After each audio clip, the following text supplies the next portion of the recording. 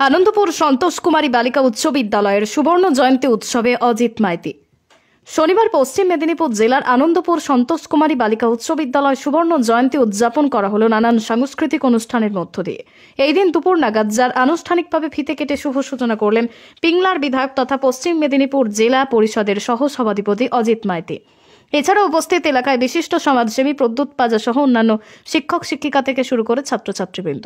বিদ্যালয়ের প্রধান শিক্ষিকা জানান, এলাকাবাসীর সাহায্য সহযোগিতা নিয়েই তাদের সুবর্ণ জয়ন্তী উৎসব সর্বাঙ্গীন সুন্দর হয়েছে। এটা এক বছর আগে হতো করোনার জন্য এটা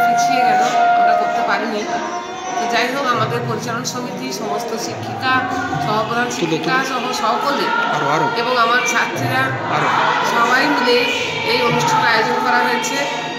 গ্রামবাসীরা আমাদের সবসময় সহযোগিতা করেছেন প্রাক্তনেরাও আছেন আমাদের পাশে আর আপনারা তো সবসময় আছেন এই অনুষ্ঠানটাকে হাইলাইট করার জন্য দেখানোর জন্য।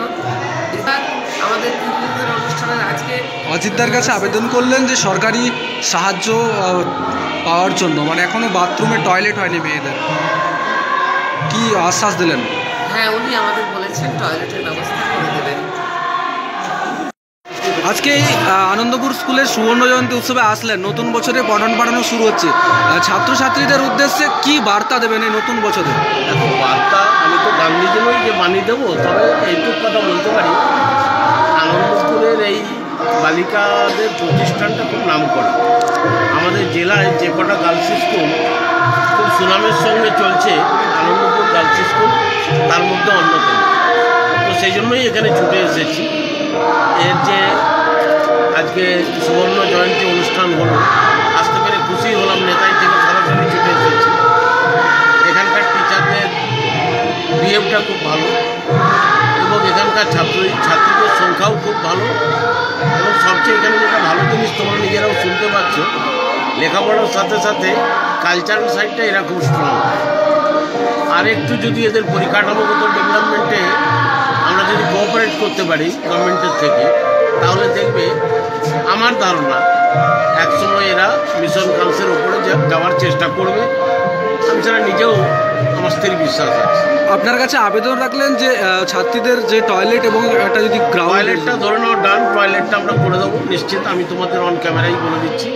টয়লেটটা আমাদের গভর্নমেন্ট খুব দ্রুত করে দেবে। মেয়েদের টয়লেট তো খুব দ্রুত করে দেওয়া হবে। আমি আমাদের হেডমিস্ট্রেস দিদিকে বলেছি যে আপনি আসুন। আমরা টয়লেটটা খুব দ্রুততার সঙ্গে করে দেবো।